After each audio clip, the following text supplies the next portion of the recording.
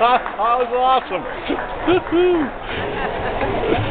Well, thank you very much uh. for, uh, for all of our guests, ladies and gentlemen. Uh, different guests have different ways in which they want to